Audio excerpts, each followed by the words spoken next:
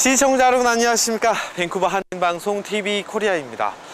밴쿠버에도 연일 30도를 웃도는 아주 무더운 더위가 이어지는 가운데 한인사회 곳곳에서는 아주 다양하고 즐거운 행사가 열려서 이 무더운 여름 날씨를 식혀주고 있습니다.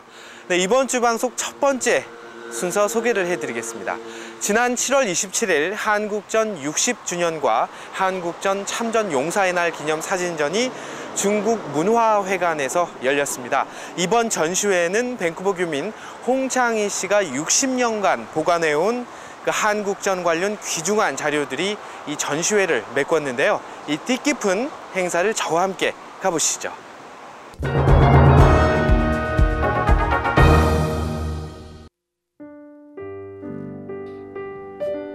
한국전 참전 용사의 날을 기념하는 6.25 사진전 개막식이 지난 7월 27일 6시 30분 차이나타운에 있는 중국 문화회관에서 열렸습니다.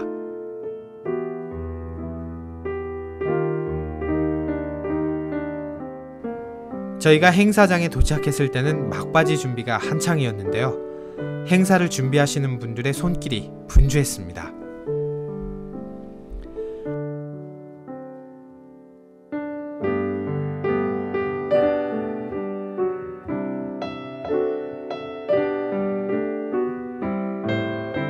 홍창희 씨가 지난 60년간 보관해온 한국전 관련 귀중한 자료들을 선보이는 이번 전시회는 해리 블로이 주의원을 비롯해서 서동모 총영사, 이우석 한국 참전용사 회장, 손병헌 재향군인회 회장, 한국전 참전 캐나다 군인들과 교민 등 100명이 넘는 인원이 참석하였습니다.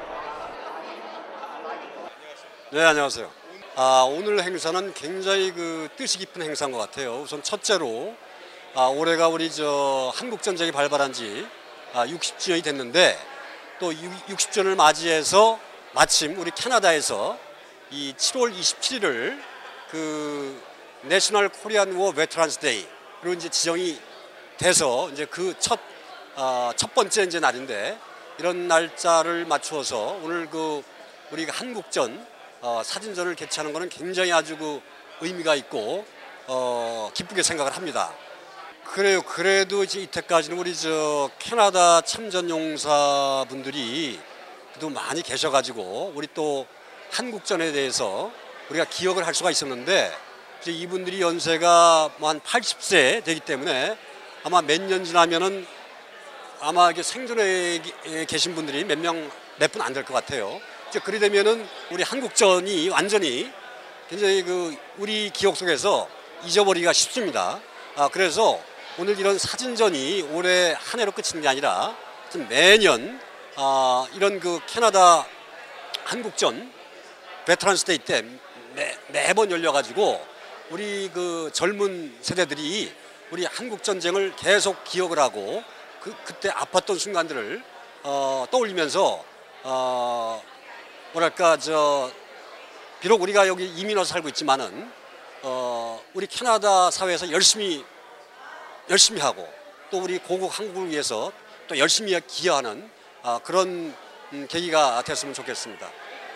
Uh, well, I was thrilled that I was invited by the count, your Council General and that I got to represent Canada at this event. But my feeling was when I was talking to the Korean and Canadian soldiers or veterans from the war, who are the real heroes, just listening to their stories and every and all the things that they gave up in life to do it. It was really heartwarming and it made me proud to be a Canadian.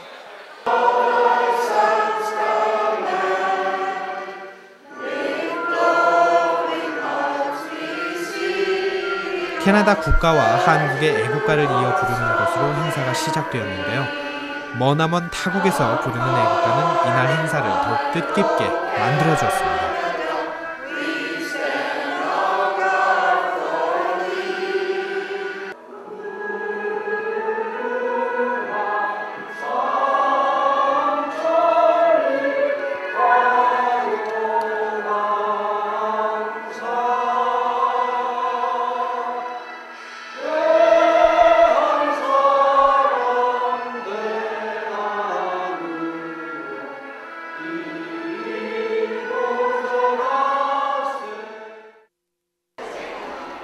일부 행사가 끝나고 사진을 관람하기 위해 많은 분들이 전시회장으로 발걸음을 옮겼습니다.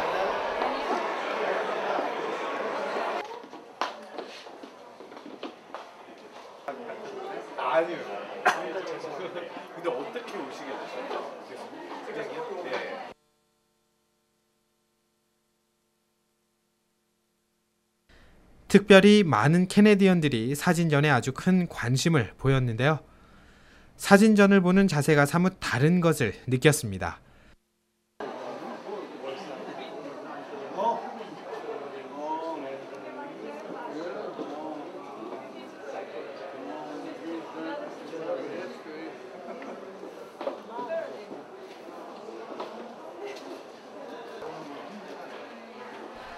그중 촬영 기간 내내 모든 사진을 아주 관심 있게 보는 여성 한 분이 눈에 들어왔습니다.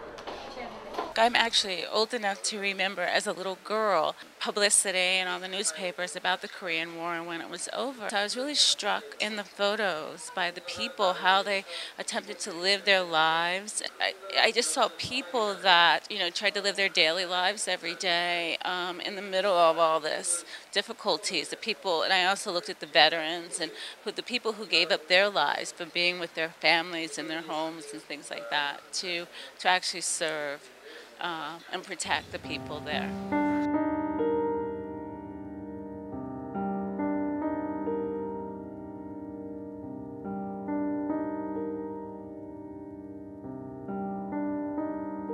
예, 1949년 3월 31일에 해군에 입대해서 에, 종합학교 교육을 마치는과 동시에 6.25가 발발했습니다. 동지끼리 어떻게 총기를 하느냐 이런 생각을 했었는데 옆에서 전우가 한 사람 두 사람 쓰러지니까 나도 모르게 방아쇠를 당기게 됐어요. 이것이 우리 민족의 비극입니다. 시작입니다. 예, 그 본인을 참전 용사가 아닌 참전자라 소개하시던 노병을 통해 당시의 상황을 알 수 있었습니다. 이렇게 힘들었던 한국전을 이야기로 만 들어온 한국의 젊은 세대들은 이번 전시회를 어떤 시각으로 바라보는지 궁금했습니다. 단 하나로 말씀드리자면 아이러니였습니다. 아이러니를 보면 사람들은 어렵다고 생각을 하는데요. 제가 생각할 때 아이러니는 가장 좋은 어, 예술적인 것뿐만 아니라 문화적으로도 좋은 소통의 장이 될 수 있는 것 같습니다. 다양하기 때문에 어렵고 그래서 무겁고 그래서 피해야 될 주제가 아니라 다양하기 때문에 더 재밌고 더 중요하게 더 가치 있게 우리가 볼 수 있는 어떻게 보면은 전쟁 그러면 되게 난해하고 딱 머릿속에 잡히지 않는 개념일 수 있는데 이거를 뭔가 사진 일상적인 사진의 한 모습들을 보면서 어 뭔가 우리 현실과 한 발짝 더 가까워질 수도 있는 것 같고 또 사진이란 매체 자체도 그동안 많이 바뀌어 왔으니까 되게 일반화된 사진 속의 우리들의 모습과 그리고 되게 보편적인 옛날 흑백 사진의 그분들의 모습과 대조되는 면에서도 되게 많은 것을 느낄 수 있을 거라고 저는 생각해요. 그래서 그런 느끼는 바들이 점점점 형성이 되고 커가면서 6.25 전쟁 아니면 전쟁 그 자체의 비극에 대한 어, 새로운 개념들도 젊은 친구들이 가졌으면 하는 그런 바람이 이번 전시에 많이 담겨져 있습니다. 예. 그래서 제가 요즘 1.5 2세 보면 너무나 음, 자랑스러워요. 무엇 하든 음, 아주 성공을 하고 어, 훌륭한 마음이 좋은 그런 청년들이 많으니까 정말 우리 사회 위해서 열심히 일하고 우리 미래 보면서 더 좋은 나라, 저, 더 좋은 세상을 꼭 만들 수 있다. 그리고 절대로 이런 6.25 같은 게 다시 또 생기면 안 되니까.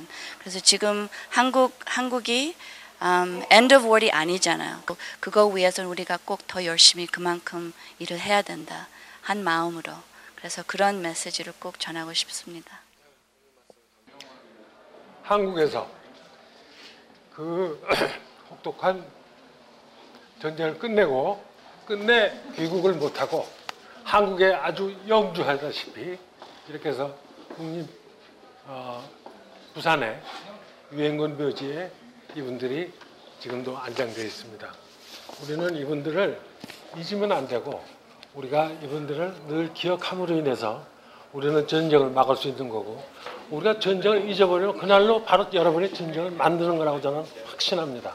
그렇기 때문에 우리가 카나다에서 Remembrance Day가 있듯이 우리는 이분들을 잊지 말고 역시 우리 국군이 돌아가신 분들도 우리는 잊으면 안 된다고 저는 생각하는 겁니다. 그렇기 때문에 우리